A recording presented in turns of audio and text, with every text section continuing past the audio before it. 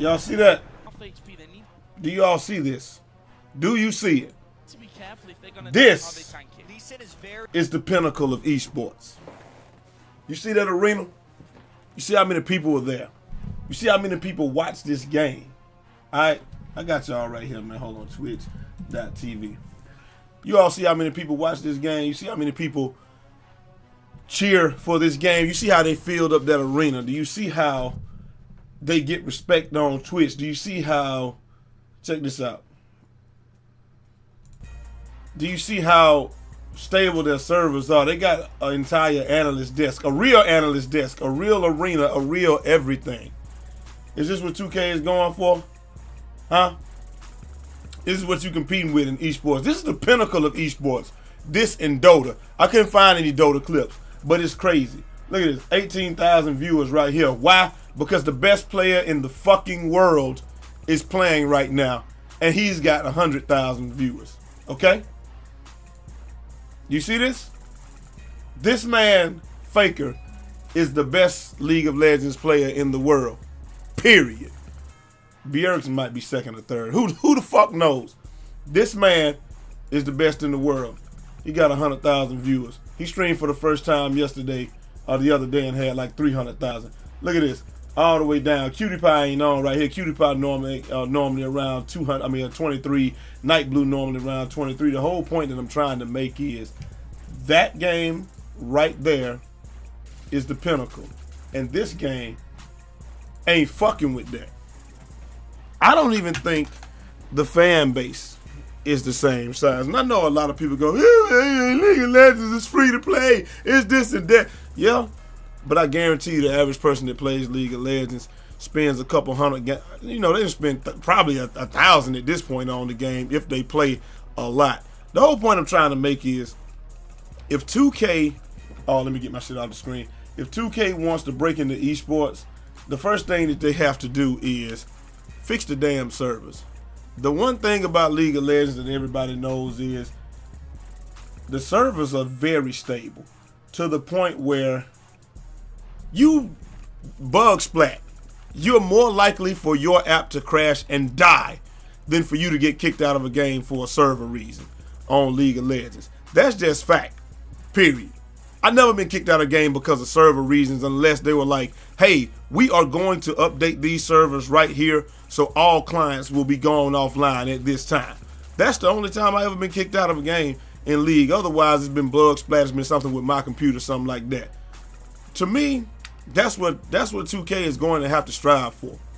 You're gonna have to just be like, look, um, look, service service stability. Like I said, some people were lagging out of games on on road to the finals, road to whatever. I mean, I understand that they want to get into esports. I understand that they now have that they now have a partnership with the NBA, whatever. I just don't know, like what what did they tell them in order to get this partnership? What numbers did they show the NBA in order to secure this partnership? Normally, if you get a sponsorship or a partnership, you got to show some numbers, right? Like they couldn't have been the Twitch numbers. They only got like two thousand viewers, right? It couldn't. Maybe it was just the overall sales numbers. I don't know what those are. Like maybe they're like, hey, this is how much the game generates. You know, a couple million people buy the game. Everybody that buy the game gonna spend about a hundred, maybe two hundred on it. And uh, for every person that doesn't like me, well, I only spent, you know, maybe uh, that initial uh, twenty dollars on some VC. You got somebody that maxed out five players and spent two hundred dollars. So you understand what I'm saying? The game is going to make money. It ain't no doubt about that. But I just don't think the pro am scene, like it's the scene big enough. The Dota scene is huge. People want to watch people do the things that they can't do in League of Legends and Dota and learn some new stuff. Like, what am I? What's the purpose for anybody watching Road to the Finals other than you know people that are just really, really in the NBA 2K? I don't think that there are that many people out there. I don't think that they're gonna fill arenas.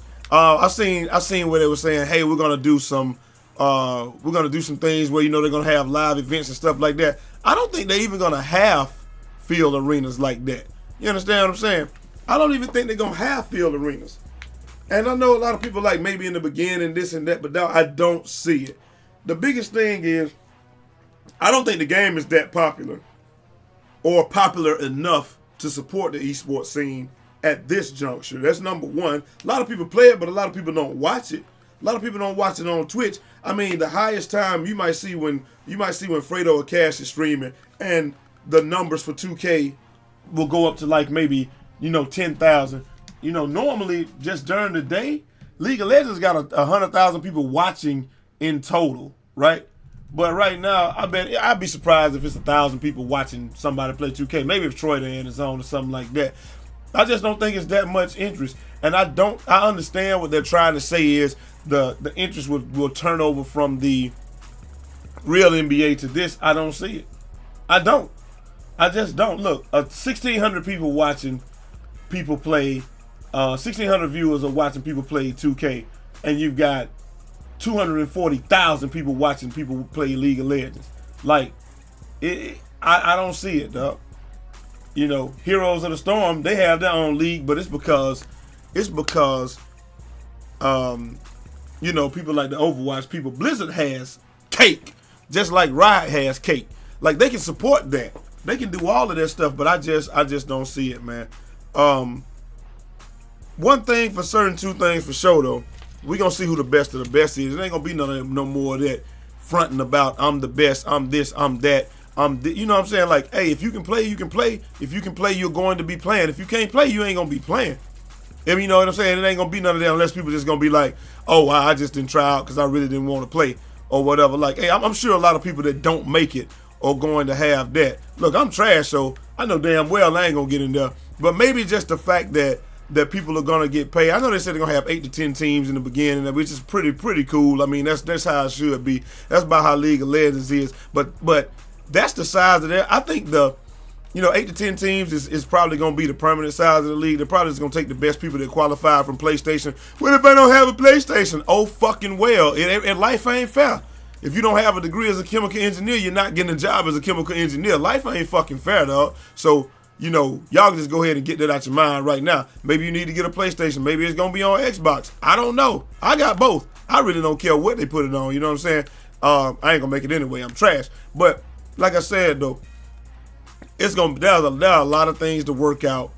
When is it going to start? How long is it going to start? Obviously, it can't start in the beginning of the season, right? Because nobody knows the game. So it's gonna. I mean, they put out a game every year. The reason that League of Legends can work like this is because the game is the same. They just add different players, different characters.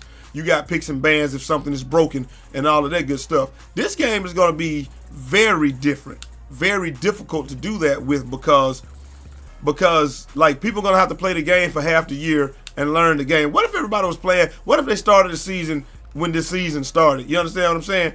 And it was gonna be a five month season. They started when the season started when pick walking picks was broken. Like so.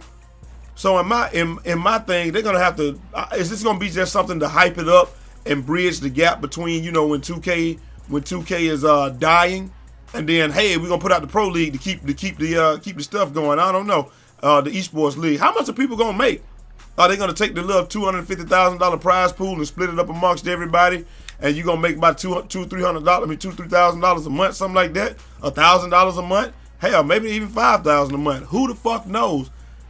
I, I don't know. It's too there are too many unanswered questions. I know they got a lot of people looking at it and uh, interested in it. They got just say, you know, you're gonna be able to get sponsorship deals. I mean, that's like that's like any pro team, Team Envy, EnVyUs, and all those guys you know, they got their own pro uh, fear. All those they got their own protein TSM. They got their own uh, endorsement deals. It used to be TSM Snapdragon. Yeah, yeah, TSM. But I mean, I think that's gonna be on you to go get a lot of your deals and all of that. And then how are they gonna find players? Like we know that the best players are not YouTubers. Like we already know that. We got you got players out there that you that, that we run into all the time, and they're just like, damn, this dude is legit.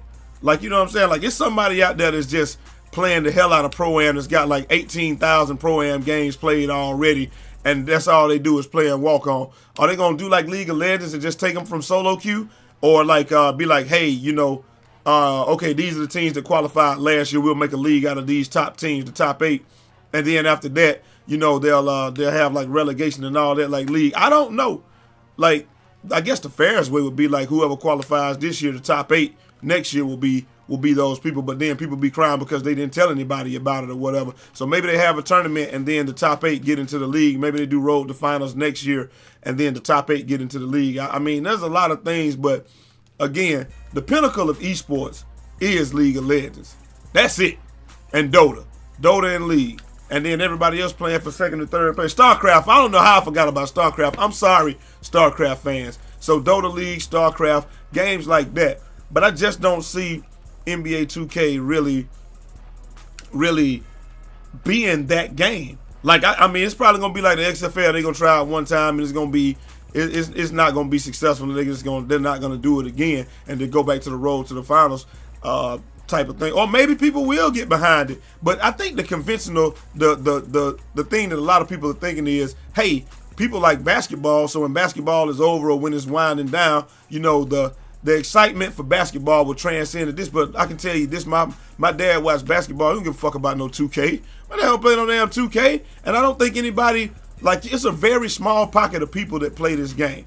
I don't have the numbers on how many players they have. I don't know what they told those people or what they fudged, but it ain't nothing like the people that actually support those esport leagues to where you can have um, different tournaments and stuff like that. Like they have 2K events and it's and it's barely like when they were like when the guys went up there to play the uh, play 2K in, in that one place in uh, Chicago. Man, that damn thing wasn't even it what the the arena wasn't even half filled or whatever. So I, I don't know, man it is what it is. I don't know how they're gonna do it. I don't know how they're going to um, how it's gonna play out. I know two things. Like I said, if you good, you should be playing. You know what I mean? But I ain't good, so obviously I ain't gonna be playing. And probably the Saturday they're gonna play is it's not gonna be anything near what I make at my job as a computer. Uh, you know, help desk technician. What, what the fuck ever I am, man. Help desk manager. I'm just a jack of all trades, man. That's what I do at my job. But um, if the servers aren't stable, then why does it even matter? You know what I'm saying? Like maybe that was a test run when when Road to the Finals was running so smoothly, and they were like, "Hey, look at this! Ain't nobody lagging out." But then you had people lagging out in the games that they televised and stuff like that. Maybe they just blamed it on, "Hey, that guy lagged out himself" or whatever. I I don't know, but there are a lot of unanswered questions, man. I feel like they're rushing it. I feel like they're pushing the square peg into a round hole where where nobody cares about this stuff. Nobody cares about Road to the Finals, and they're just trying to force it on us and make people care about it and make this game. That's why they did the archetype system. I told y'all at the beginning of the year they're doing it like League of Legends. They're making the archetype system for that. And everybody that plays the offline and single player mode, you just got to get in where you fit in. You know what I'm saying? But I mean, like those guys, that do League of Legends and stuff, man, they they play the game all day. They practice all day. They scrim because you can do private matches and stuff like that. You can't do that with this. I don't want to play the same bum ass team. I want to be able to play against another team that we can say, and all of us are communicating, or all of us are telling, you know, we can be in whatever, but I, I, can tell them, hey, play this like this, and we're gonna see what we can do. You want to scrim against people that are actually quality players and stuff like that, or you want to scrim against people that you want to scrim against. You don't want to have to just leave it up to chance to uh to play against who you you know just I'm just gonna play. We'll just play somebody. We'll try to match up at the same time. Like that's not really gonna work. So I, like I said, there are a lot of things that they're gonna have to change if they want to make this work.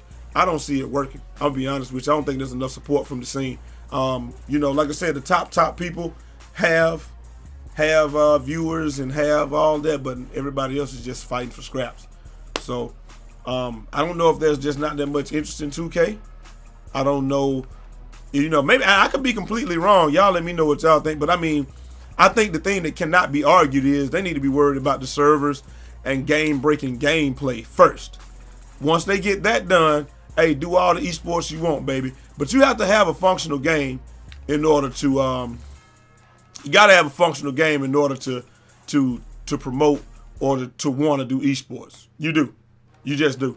And this game isn't there yet. Mechanically, it's not there yet. And if you're making a game every year instead of just improving on and then giving us another addition or patching updates and stuff like that, it just ain't gonna work, man. Anyway, I didn't already talk too long, man. Y'all let me know if you guys play League of Legends. Y'all let me know. Like the people, I know there's people on here that play League of Legends, and they know that League is really the pinnacle of uh of esports, uh, and in Dota and StarCraft and games like that that can actually fill arenas and all that. Those are world games. These this ain't a world game. I mean, basketball is a is a world's game, but it's not the world's game. Hey, maybe FIFA or something can pull some shit like this off, but this game, nah, I don't see it, man. But um, I'm wrong all the time. I've been wrong before, so maybe they will do it. But like I said, if you're the best of the best, and you claim that you're the best of the best, your ass better be on one of these teams. That's all I can say. That's all I, all I can tell people, man. If you if you claim you the best of the best, better see y'all ass on one of these teams.